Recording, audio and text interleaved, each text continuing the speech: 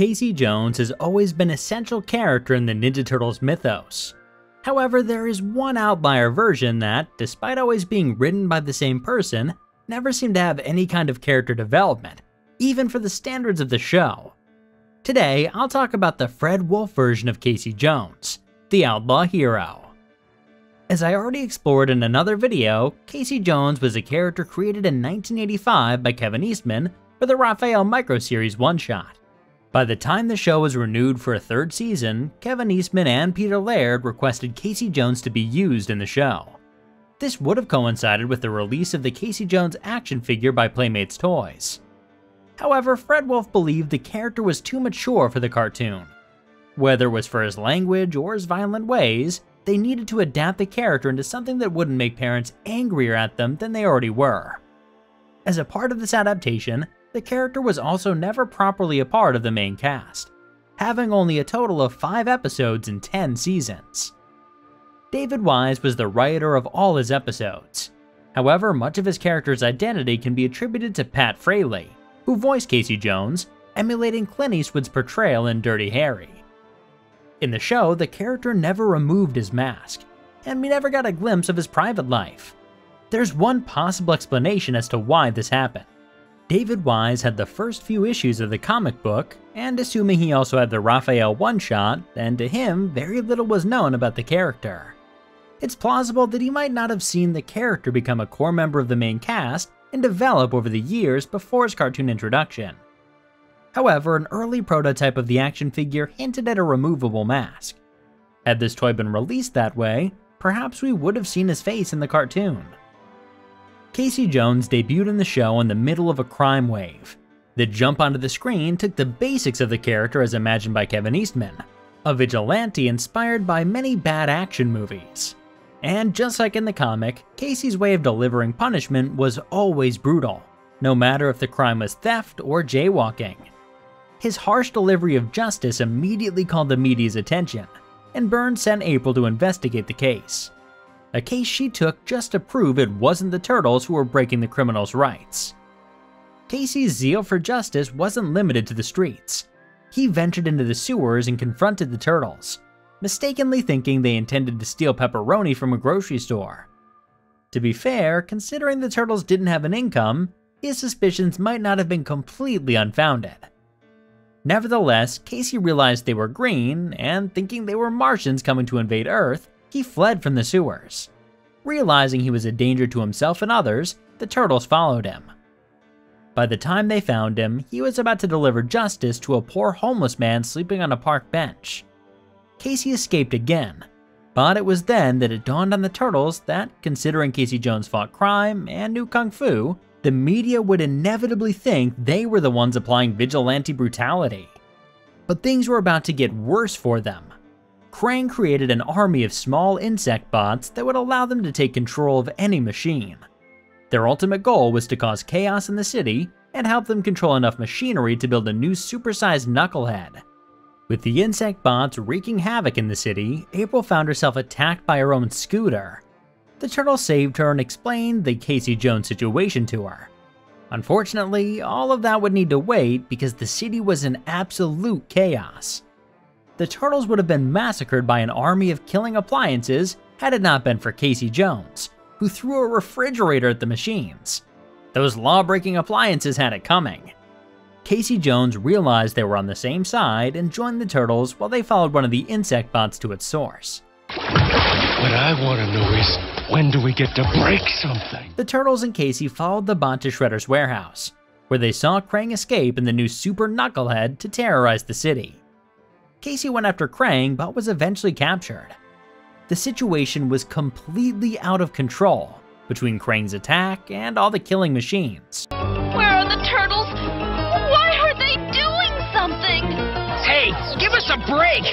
We're doing the best we can! The turtles took the insect bot controller from the shredder, rescued Casey, and then asked him to make a hole in the super knucklehead. Once he finished that, they recalled all the bots and threw the controller inside. The bots completely destroyed the Knucklehead, and the villains escaped. In the end, Casey left without saying goodbye, but we got a hint that he would reappear in the future. His next appearance is perhaps his most iconic episode Corporate Raiders from Dimension X.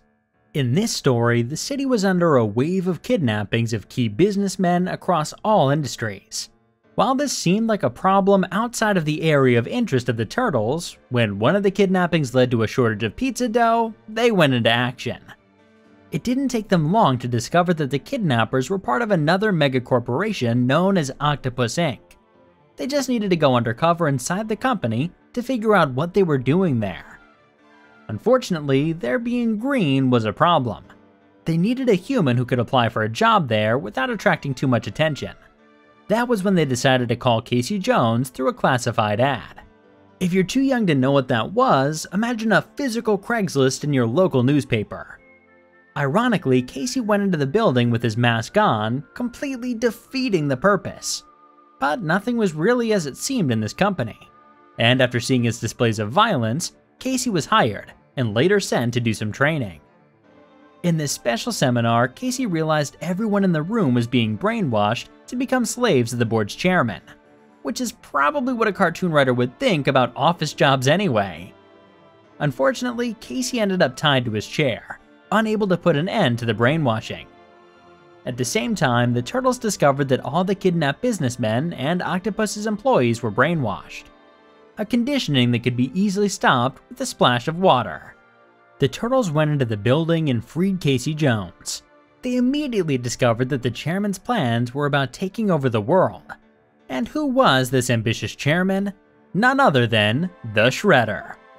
Outnumbered, the Turtles were taken hostage, while trapped, they discovered another hostage, the original president of the company, Octavius Ogilvy, who couldn't be hypnotized because his hearing aid wasn't working. The turtles freed themselves and Donnie fixed Octavius's hearing aid. After this, they discovered the blueprints for the Grand Rising that Shredder was planning at the Octopus Stadium. This event was just another way of bringing the Technodrome back from the Earth's core. Apparently Octavius didn't know these were his plans when he started doing business with the Shredder. Were all the kidnappings necessary to do this grand arising? Probably not. The rest of the episode goes as expected. Donatello hijacks the plumbing system, and instead of raising the Technodrome, they break everybody's hypnosis.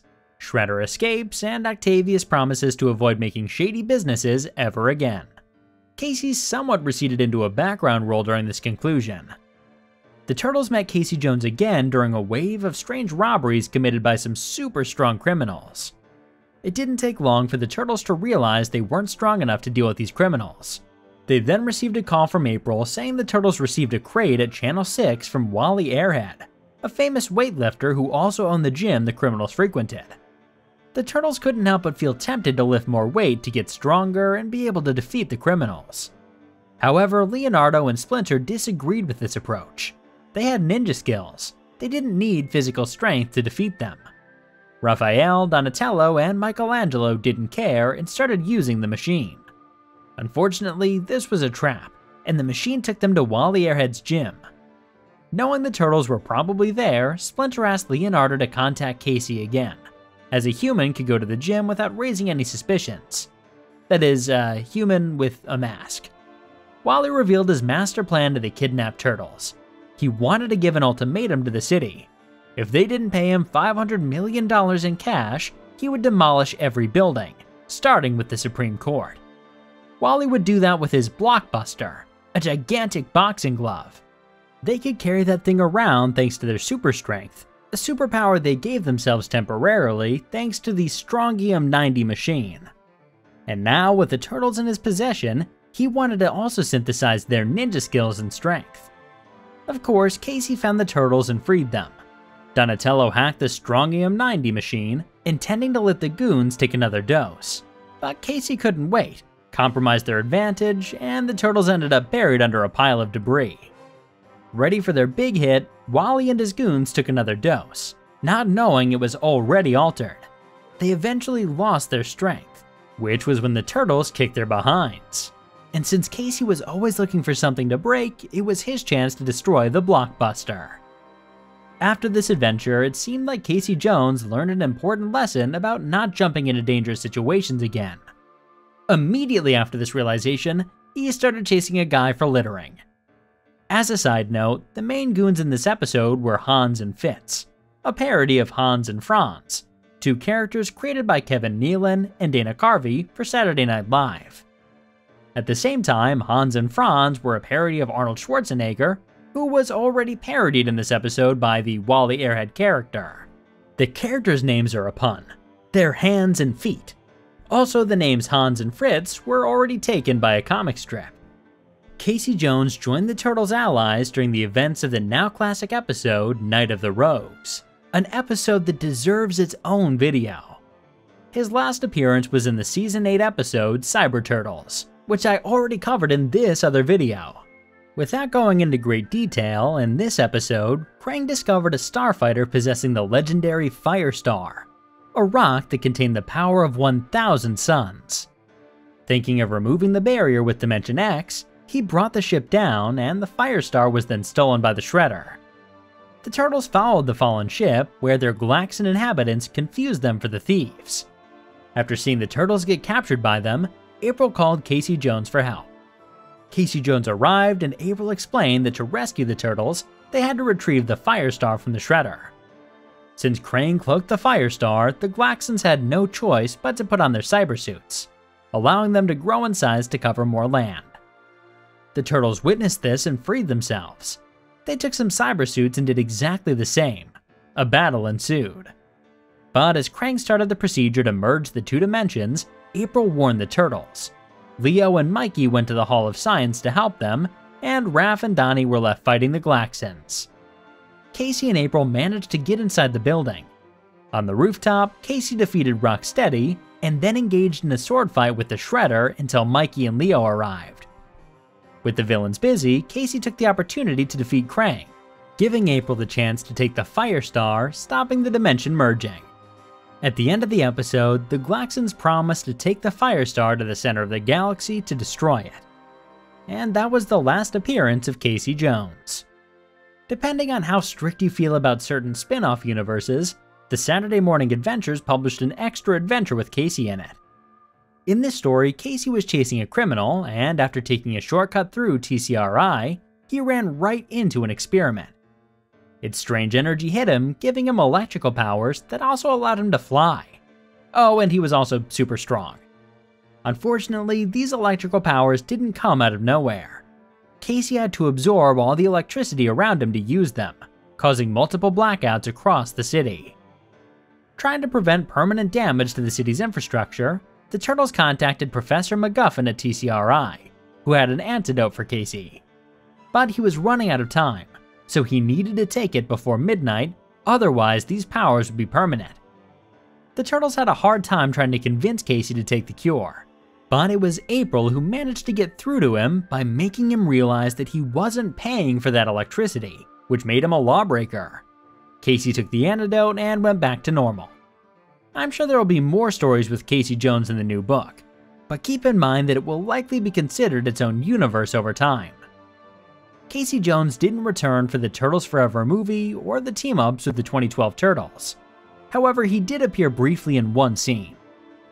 As I said, the character was always fun to watch, but it was a little disappointing that he never achieved the same status as part of the main cast as in all the other versions, especially after the success of the first movie. What do you think of this version? Do you prefer the Dirty Harry take over the classic Casey Jones? Let me know in the comments. Thanks for watching, see you in the sewers!